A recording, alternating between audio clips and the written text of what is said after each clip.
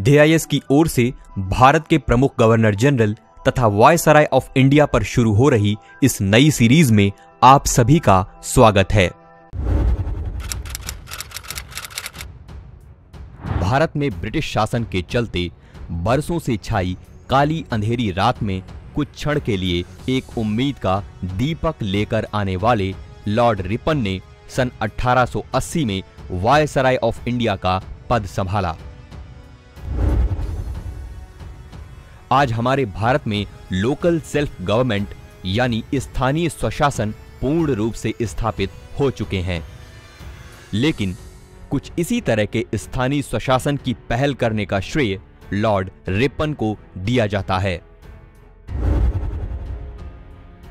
जिसने सन 1880 में पहली बार भारत में स्थानीय स्वशासन संबंधी सरकारी प्रस्ताव पर ज़ोर दिया। इसी वजह से उसे father of local self government in India भी कहा जाता है।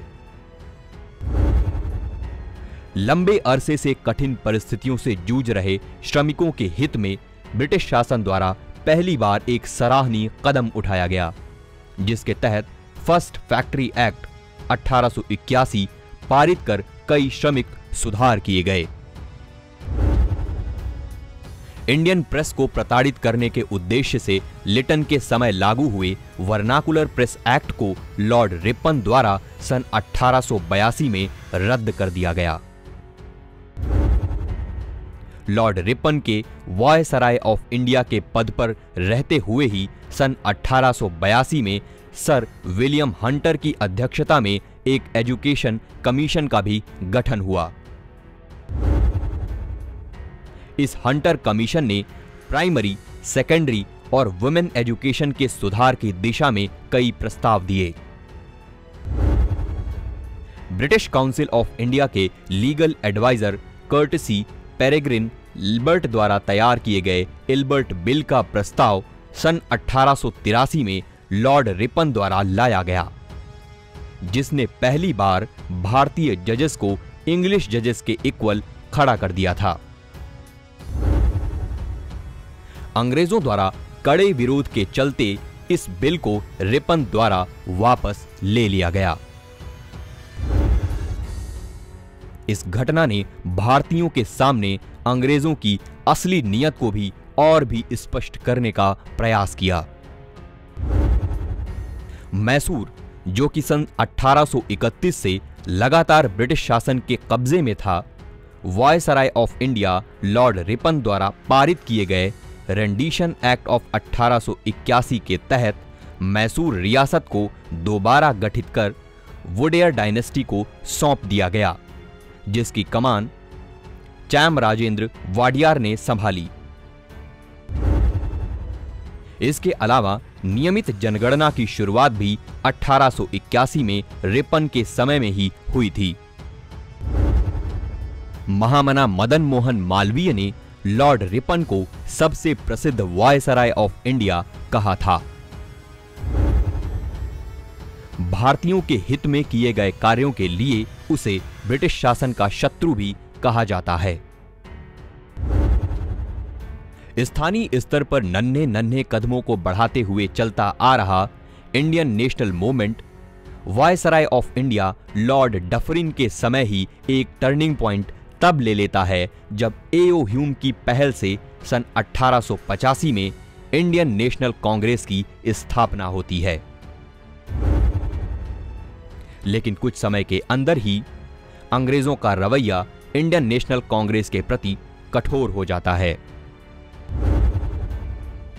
जिसकी पुष्टि डफरिन के कथन द्वारा होती है, जिसमें उसने कहा था कि INC is a microscopic minority and its demands as big jumps into the darkness सन 1885 से छियासी में तीसरा आंग्ल बर्मा युद्ध लड़ा गया, जिसका नेतृत्व डफरिन ने किया था।